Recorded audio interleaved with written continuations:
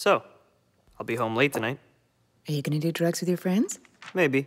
Can I borrow the car? Sure. Driving high is not a big deal. It's definitely not like driving drunk. What are you saying if you don't say anything?